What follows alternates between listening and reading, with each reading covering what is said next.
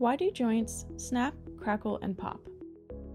The body's musculoskeletal system is made up of bones, cartilage, connective tissues, ligaments, and tendons. They all work together to move your body, support your body's weight, and maintain your posture. Sometimes, joints make sounds that leave you wondering why.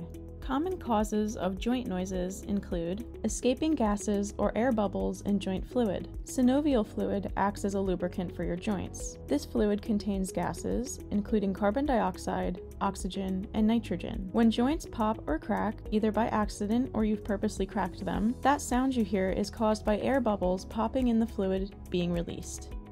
Friction in the joint. When joints move, the nearby tendons move slightly out of place which can cause friction in the joint. You might hear a noise when there is friction, such as when cartilage surfaces rub together or a tendon is sliding back into place. This is especially common in the knees and ankles. The snapping of stretched ligaments as they slide across bony surfaces of the joints can also cause noises.